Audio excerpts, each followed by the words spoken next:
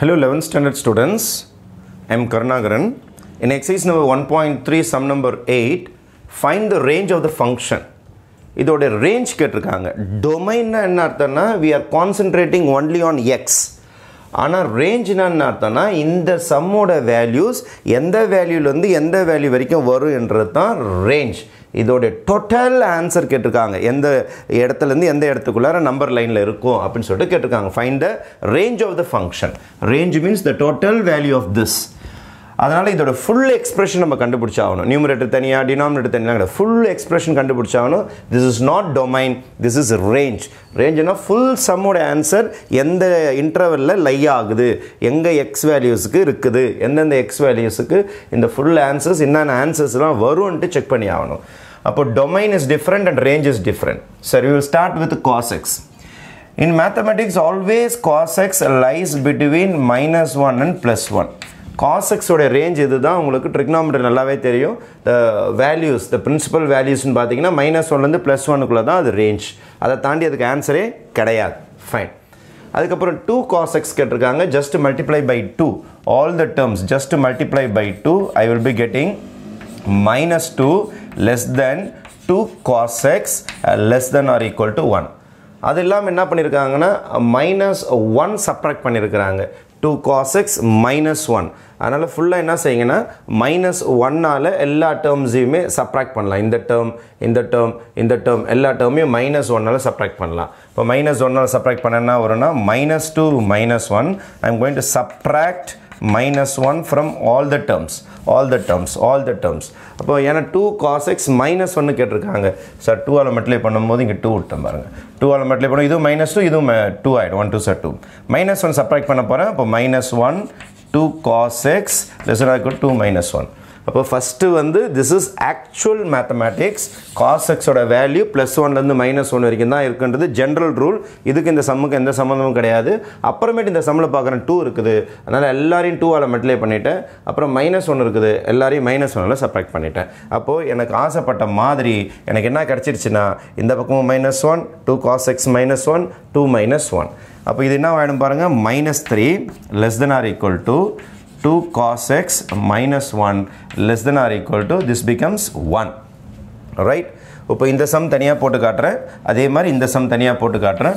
ரெண்டும் போட்டு காட்டினா உங்களுக்கு ரேஞ்ச் கண்டுபிடிக்கிறதுக்கு ரொம்ப ஈஸியாக இருக்கும். அதோட வேல்யூஸ் கண்டுபிடிக்கிறதுக்கு ஈஸியாக இருக்கும். ஏன்னா ஒன் பை மாற்ற போகிறேன் நான். இங்கே பாருங்கள் minus three less than or equal to two cos x minus one right இப்போ நான் என்ன பண்ண போகிறேன்னா இது பை ஒன் இது by one just I am going to cross multiply இதையும் இதையும் கிராஸ் மல்டிப்ளை பண்ண போகிறேன் கிராஸ் மல்டிப்ளை பண்ண என்ன பாருங்கள் one by two cos x minus one is less than or equal to இது கீழே போயிடும்.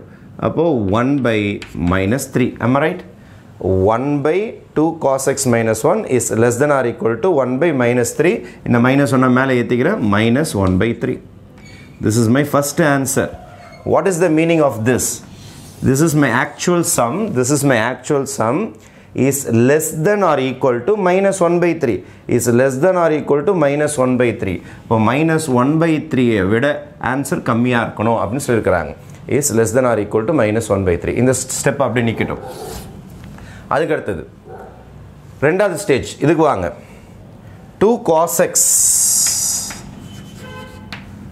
minus one is less than or equal to one அதே மாதிரி இங்கேயும் க்ராஸ் மெட்லே பண்ணுறேன் நான்.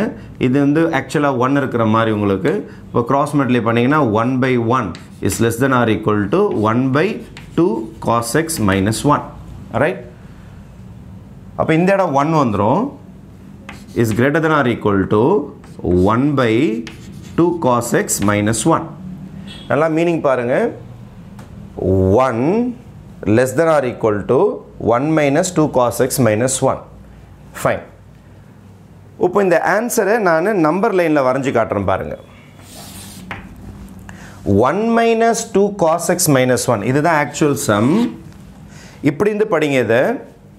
One minus two cos x minus one is greater than one இப்படி படிக்கணும். இப்படி படிச்சிங்கன்னா கிரேட்டர் தென் சிம்பிள் இப்படி படிச்சீங்கன்னா less than simple one is less than படிப்பீங்க. இப்படி படிச்சீங்கன்னா one minus cos two x minus one is greater than one ஆம் right is greater than one அல்லது இன்னும் உங்களுக்கு புரியுற மாதிரி சொன்னோம்னா இங்கே பாருங்கள் this can be written as one minus two cos x minus one இந்த சிம்பிள் இங்கே தானே இருக்குது. Greater than or equal to one ஒன்னும் ஒன்னை தாண்டியும் ஒன்னை தாண்டியும்.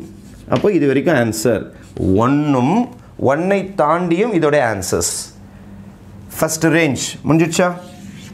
இதோட மீனிங் பாருங்கள் one minus cos two எக்ஸ்மே less than or equal to minus one by three less than என்ன அர்த்தம் உங்களுக்கு? இந்த இடம் மைனஸ் ஒன் பை த்ரீன்னு வச்சுங்க லெஸ் தென்னா இந்த சைட் இப்படி வந்தீங்கன்னா கிரேட்டர் தென் வந்துடும் less than minus one by த்ரீனா இந்த ரேஞ்ச் எது வரைக்கும்? மைனஸ் இன்ஃபினிட்டி வரைக்கும். அப்போது ஃபஸ்ட்டு பார்ட் என்ன சொல்லுது? இந்த பார்ட் என்ன சொல்லுது? அப்படின்னு பார்த்தீங்கன்னா அந்தாண்ட சைடு உங்களோட ஆன்சர் இருக்குது. இந்த பார்ட் என்ன சொல்லுதுன்னா இந்தாண்ட சைடு ஆன்சர் இருக்குது. அவங்க கேட்டுக்கிறது எக்ஸ்ப்ரெஷனுடைய வேல்யூ ரேஞ்சுன்னு கேட்டிருக்காங்க. இப்போ this is my first range and this is my second range ரெண்டு பேரும் சேர்த்து எழுதணும். இதுவும் ஆன்சர்ஸாக வரும். இதுவும் ஆன்சர்ஸாக வரும். நடுவில் எந்த ஆன்சருமே வராது. Therefore range is equal to range is equal to minus infinity minus infinity less than or equal to இருக்குது. அதனால் minus one by three close to bracket ஏன்னா இட் இன்க்ளூட்ஸ் இது ஒரு answer and and one is included one is included comma infinity is your second answer அப்போ இந்த சம்ம ரெண்டு ரேஞ்சாக பிரிச்சிட்டிங்கன்னா it will be easy to understand எதுக்கு மேலே வேல்யூஸ் இருக்குது எதுக்கு கீழே வேல்யூஸ் இருக்குன்னு ரொம்ப ஈஸி அண்டர்ஸ்டாண்ட் பண்ணிக்கலாம். எப்போதுமே ரெசிப்ரோக்கல் எடுத்திங்கன்னா அந்த இன்இக்வாலிட்டி சிம்பிள் மாறி வரும். அதனால தான் உங்களுக்கு லெஸ் தென் சிம்பிள் வந்திருக்கு. அதனால தான் தனித்தனியாக பிரித்து காட்டியிருக்கேன். தனித்தனியாக பிரித்து காட்டினா உங்களுக்கு நல்லா புரியும்.